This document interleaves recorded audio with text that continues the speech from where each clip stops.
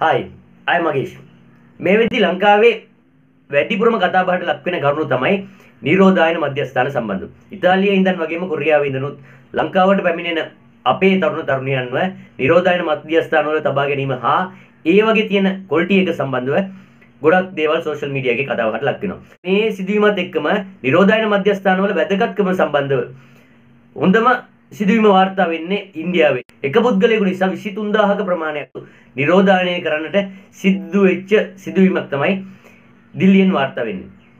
මේ සිද්ධිය කතානායකයාගේ නම තමයි සිද්ධාර්ථ සෙට්ටි. මෙයා ඇවිල්ලා දිල්ලියේ ජීවත් වෙන ව්‍යාපාරිකයෙක්.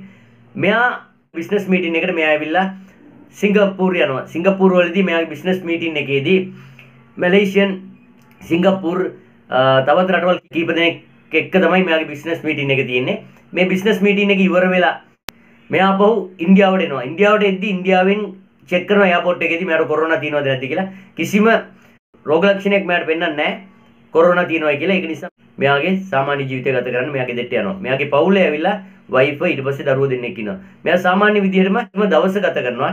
එදා සිංගප්පූරු ඉඳන් ආව දවසේම බර්ත්ඩේ පාටි එකට යන්න තියෙනවා. ෆැමිලි එක පිටින්ම බර්ත්ඩේ පාටි එකට යනවා. ඒ බර්ත්ඩේ පාටි එකටත් කට්ටිය 250ක වගේ ප්‍රමාණයක් ඇවිල්ලා තියෙනවායි කියලා සඳහන් වෙනවා. ඊළඟ දවසේ දරුවන් ඉස්කෝලේ යවනවා. ඒ වගේම සිද්ධාර්ථ සෙට්ටි වැඩට යනවා.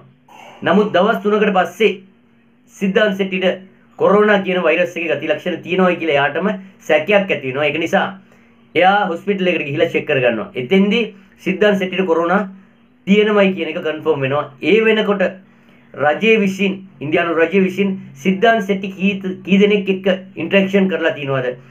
සිංගප්පූරේ ඉඳන් ආව දවසේ ඉඳන් හොස්පිටල් එකට එනකන් මෙයා දල වශයෙන් 23000ක ප්‍රමාණයක් මිනිස්සුත් එක්ක ඉන්ටරැක්ෂන් වෙලා තියෙනවා.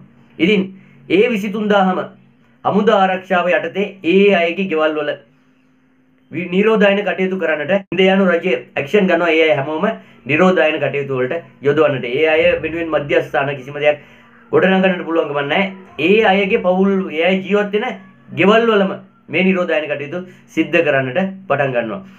මේකේ විශේෂත්වය වෙන්නේ දරුවෝ දෙන්න යන්නේ ඉස්කෝල් දෙකකට ඉස්කෝල් දෙකම වහනවා.